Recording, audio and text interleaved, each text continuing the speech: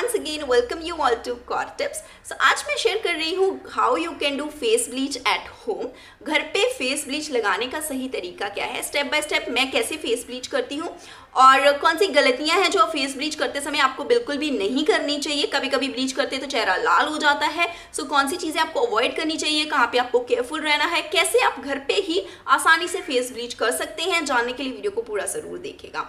और अगर आप मेरे चैनल पर पहली बार आए हैं तो please subscribe press the bell icon ताकि आप मेरे सारे फ्यूचर वीडियोस को देख सके। So let's get start with this video so so, जैसे मैंने कहा फेस ब्लीच में आज मैं आपको करके दिखाने वाली हूँ स्टेप बाय स्टेप मैं कैसे करती हूँ। और अगर आपके कुछ एफ़ ए क्यूज हैं फेस ब्लीच के बारे में लाइक फेस ब्लीच कितने दिन में लगानी चाहिए कब लगानी चाहिए लगाने का सही तरीका तो मैं आज आपको दिखाई दूँगी। बाकी सारे एफ़ ए क्यूज जैसे कौन सी सबसे बेस्ट फेस ब्लीच होती है। इसके ऊपर मैंने एक डिटेल वीडियो बनाया हुआ है जिसको मैं लिंक कर रही हूँ डिस्क्रिप्शन बॉक्स में तो प्लीज़ उस वीडियो को जाके चेक कर लीजिए। फेशियल्स के ऊपर भी मैंने वीडियो बनाया है फेस क्लीनअप्स के ऊपर भी मैंने वीडियो बनाया हुआ है कैसे आप घर पे कर सकते हैं कौन सी बातों का ध्यान रखना है कौन से स्टेप्स फॉलो करने हैं। तो प्लीज़ इन तीनों वीडियो को एक बार ज़रूर देख लीजिएगा। चलिए अभी आज का वीडियो शुरू करते हैं। सो so, सबसे पहले त्योहारों से पहले मेकअप स्टार्ट करने से पहले it's very important to do some of the skin care ritual जिसमें एक बहुत इंपॉर्टेंट है फेस ब्लीच सो मैं जनरली करवा चौथ से पहले ही ये वाले स्टेप्स जो है फॉलो करती हूँ। फेस ब्लीच दो या तीन दिन पहले। So how I do face bleach step number one is selecting the face bleach आपको कौन सा ब्लीच करना है? ब्रांड्स में भी बहुत सारे ऑप्शन है प्लस उसके आगे बहुत सारी कैटेगरीज हैं। लाइक ऑक्सी का ब्रांड है एफएम का ब्रांड है वी का है जोवीज का है and there are lots and lots of other brands as well उसके अलावा ब्रांड्स के साथ साथ जो इसमें सब कैटेगरी है like gold face bleach diamond face bleach fruit face bleach जैसे ऑक्सी का आता है oxygen rich face bleach and aloe vera rich face bleach different different type की कैटेगरीज आती हैं so if you ask me I generally go for a basic face bleach I don't go for gold I don't go for diamond मुझे लगता है bleach का काम just face के ऊपर जो हेयर है, उनके कलर को आपकी स्किन के साथ मैच करना and that's it that is what a bleach is suppose to do so that is why I don't go for any expensive bleach step number two is getting the bleach ready now आज की video में मेरे पास रूप मंत्रा की facial kit में bleach जो था वो ऑलरेडी अवेलेबल है तो मैं वो ट्राई करने वाली हूँ फ़र्स्ट टाइम कि कैसा उसका रिज़ल्ट आता है. One more thing this is not a sponsored video so I am just doing this क्योंकि मेरे पास ये ब्लीच पड़ा हुआ था and I wanted to show you how I do face bleach so that is why I am using it इसकी जगह पे अगर मेरे पास ऑक्सी का पड़ा होता then I might have shown you the Oxy face bleach as well so mixing the face bleach first of all quantity कितनी लेनी है इट डिपेंड कि आप पूरा सिर्फ़ फेस पे कवर करना चाहते हो या फेस और neck generally I will suggest you to go for face and neck together that is what I do so I will take almost two two three scoops of bleach and उसके बाद जो activator है then that is the most important thing कि activator कितना डालना है। So so, activator अगर आप ज़्यादा डाल देते हो तो फेस के ऊपर रेडनेस इचीनेस के चांसेस बढ़ जाते हैं। That is the one mistake you should never do when you are applying a face bleach on your face activator की क्वांटिटी कम डाल एक्टिवेटर मोस्टली आपके पास जो ब्लीच होती है, उसके ऊपर लिखा होता है एक्टिवेटर कितना डालना है रेशो दिया होता है। अगर आपने चार हिस्से लिए हैं क्रीम के तो एक हिस्सा आपको एक्टिवेटर का डालना है। सो यहाँ पे मैंने रूप मंत्रा की क्रीम में से अंदाजे से एक्टिवेटर डाला है। सो मोस्टली मैं क्वांटिटी से कंपेयर करती हूँ कि अगर ब्लीच की क्वांटिटी इतनी है एंड एक्टिवेटर की कितनी, इतनी है तो इक्वल हिस्सों में डिवाइड करके वन पोर्शन में कितना जाएगा। दिस एट ग्राम्स का एक्टिवेटर है। एट ग्राम के एक्टिवेटर को आप आठ इक्वल हिस्सों में डिवाइड कर ले तो वो वन वन ग्राम क्वांटिटी हो जाएगी। And minimum one gram you can use for your face and that is a basic calculation which I do so उतनी क्वांटिटी आप लीजिए और बाकी का एक्टिवेटर जो है वो आप वापस कंटेनर में डाल के उसको step number three is mixing the bleach mix it properly ताकि एक्टिवेटर के ग्रेन्यूल्स ना रहे। And then let it rest for one और टू मिनट स्टेप में फेस ब्लीच को अप्लाई करने से पहले आपको ध्यान रखना है कि आपको अपने चेहरे को अच्छी तरह से वॉश करना है। फेस वॉश के साथ वॉश कर लीजिए। अगर मेकअप अप्लाइड था तो डबल क्लिनजिंग मेथड यूज़ करके अपने चेहरे के ऊपर से पहले मेकअप को हटाइए। फेस को अच्छी तरह से वॉश वॉश कीजिए। एंड उसके बाद आपको फेस ब्लीच का एप्लीकेशन स्टार्ट करना है। नेक्स्ट स्टेप में आप फेस ब्लीच फेस के ऊपर ब्लीच को अप्लाई कर सकते हैं।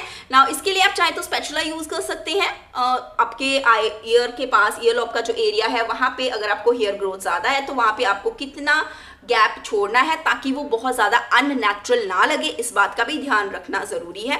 uh, मुझे फिंगर्स ज़्यादा कन्वीनियंट लगती हैं so I use my fingers to apply the bleach all over my face eyebrows का एरिया छोड़ के forehead and first I apply on my full face उसके बाद मैं अपने नेक पार्ट पे और अच्छी तरह से अप्लाई करती हूँ एंड फ्रंट के ऊपर अप्लाई करने के बाद I also apply the bleach on the back side of my neck ना अगर आप डीप नेक के क्लोथ्स पहनते हैं देन आप घर में से किसी की मदद ले सकते हैं बैक साइड के ऊपर प्रॉपरली ब्लीच अप्लाई करने के लिए और आप क्वांटिटी भी थोड़ी ज़्यादा बना सकते हो। But make sure when you are applying a bleach on your face अपनी नेक को भी ब्लीच ज़रूर अप्लाई करें। और फेस पे ऊपर ब्लीच अप्लाई करते समय अगर थोड़ी बहुत ब्लीच की क्वांटिटी बच जाए तो उसको आप अपने हैंड्स के ऊपर अप्लाई करने के लिए यूज़ कर सकते हैं। या अगर आपकी अंडर आर्म्स बहुत ज़्यादा डार्क है तो आप अपने अंडर आर्म्स के ऊपर भी ब्लीच अप्लाई कर सकते हैं। अगर आपके पैर बहुत ज़्यादा काले हैं तो बची हुई ब्लीच आप अपने पैरों के ऊपर भी अप्लाई कर सकते हैं। यहाँ पे मैं बची हुई ब्लीच अपने हैंड्स के ऊपर अप्लाई कर रही हूँ। And then I am going to let it rest for specific time amount now next step में ब्लीच को चेहरे के ऊपर कितनी देर तक छोड़ना है इसके लिए हमेशा पैकेजिंग के ऊपर इंस्ट्रक्शन जो दी गई होती है उसी को फॉलो करें। जैसे मेरे पास जो ब्लीच है उस पर टेन टू फिफ्टीन मिनट्स लिखा है। और मोस्टली क्या होता है कि फेयर स्किन के लिए टाइम कम होता है और सांवले रंग वालों के लिए टाइम ज़्यादा होता है। But still I will recommend you to read the instruction on the bleach जो आपके पास अवेलेबल है। सो so, मेरे पास यहाँ पे जो ब्लीच है इस पर टेन टू फिफ्टीन मिनट्स लिखा है। मैं टेन मिनट्स का टाइमर सेट कर रही हूँ यहाँ पे फ़ोन के ऊपर। टाइम पे मैं आराम से बैठ के अपने टैब के ऊपर कुछ गेम्स खेलूँगी या म्यूज़िक सुन सकती हूँ या टीवी देख सकती हूँ या I can do anything whatever I want यहाँ पे क्या आपको नहीं करना है वो ये कि फेस ब्लीच लगा के किचन में जाके काम नहीं करना है। डोंट थिंक कि ब्लीच लगी हुई है चेहरे के ऊपर, चलो मैं कोई घर के काम निपटा लेती हूँ। Please it will only take ten to fifteen minutes अगर आप नहीं चाहते कि ब्लीच लगाने के बाद चेहरे के ऊपर कोई भी दिक्कत आए आपको तो प्लीज़ जब आपने ब्लीच अप्लाई किया हो तो then just sit and relax for those ten to fifteen minutes so so, 10 minute जैसे ही कंप्लीट हो रहे हैं मैं अपने फेस को वॉश कर रही हूँ। वॉश करते समय स्लोली स्लोली जेंटली आपको ब्लीच को चेहरे के ऊपर से निकालना है। बिल्कुल भी हार्श ऐसे नाखून वाला ऐसे खुरच खुरच के नहीं निकालना। जेंटली पहले एक्स्ट्रा ब्लीच जो है उसको रिमूव करें। उसके बाद खुले पानी के साथ अपने चेहरे को अच्छी तरह से धोएँ रेगुलर रनिंग वाटर के साथ। इस स्टेप को प्रॉपरली करें और उसके बाद एक ड्राई क्लॉथ के साथ अपने फेस को अच्छी तरह से डैप कर लें। नेक्स्ट स्टेप में ब्लीच को फेस के ऊपर से अच्छी तरह से वॉश कर लेने के बाद मैं चेहरे के ऊपर जनरली कुछ भी अप्लाई नहीं करती हूँ। अगर ऑक्सी की ब्लीच यूज़ की है तो उसमें एक पोस्ट ग्लो सिरम आता है। I like to go with that but Roop Mantra की क्रीम में ऐसा कुछ भी नहीं है तो मैं कुछ भी अप्लाई नहीं करूँगी। But if you want then you can go with a nourishment cream and a face pack but इसको भी आप थोड़ा सा टाइम दे सकते हैं। ब्लीच अप्लाई की तो दो तीन घंटे के बाद अप्लाई करें। ना ब्लीच अप्लाई करते, साथ ही अगर चेहरे के ऊपर रेडनेस हो जाए, एकदम चेहरा ऐसे जलने लगे तो क्या करें?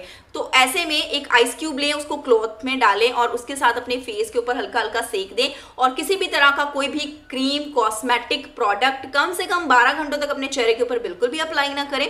ब्लीच अगर किया है तो कम से कम 12 घंटों तक डायरेक्ट सनलाइट में बिल्कुल भी ना जाएँ। सबसे बेस्ट सही टाइम ब्लीच करने का होता है शाम का टाइम क्योंकि उसके बाद अगर आप बाहर भी जाओ तो सन डाउन हो चुका होता है। सो so, मैं पर्सनली इवनिंग को करना प्रेफर करती हूँ फेस ब्लीच एंड देन उसके बाद मैं बाहर जाना बिल्कुल अवॉइड करती हूँ। I try to plan it in this way कि मुझे बाहर ना जाना पड़े और किसी भी तरह का पल्यूशन जो है कम से कम मेरी स्किन से 24 घंटे तक दूर रहे। Now coming to the point कि ब्लीच के बाद फेशियल कब करें। सो so, मोस्टली मैं क्या करती हूँ कि अगर मुझे फेशियल कल करवाना है तो मैं आज फेस ब्लीच कर लूँगी। That is how I plan या मोस्टली अगर मुझे फेशियल शाम को लेना है तो मैं ब्लीच सुबह कर लूँगी एंड देन उसके बाद मैं कोशिश करूँगी कि मुझे सुबह से शाम के बीच में कहीं भी बाहर ना जाना पड़े। Because that is the most important thing कि मुझे सनलाइट में ना जाना पड़े। And that is what I think कि बारह घंटे का गैप होना ज़रूरी है। और फेशियल के बाद सॉरी uh, ब्लीच के बाद फेशियल करते हैं तो चेहरे के ऊपर ज़्यादा अच्छा बढ़िया ग्लो आता है। ना अगर आप घर पे ही फेशियल करने वाली हैं ब्लीच के बाद और आपको इमीडिएट करना है कि मैंने अभी ब्लीच की है और मुझे यू you नो know, अभी फेशियल करना है तो कुछ स्टेप ऐसे हैं जो आप स्किप कर सकती हैं। जैसे कि क्लिनजिंग का स्टेप अभी तो आपने ब्लीच की तो क्लिनजिंग के स्टेप की आपको कोई ज़रूरत नहीं है क्योंकि ऑलरेडी फेस क्लिनस हो चुका है।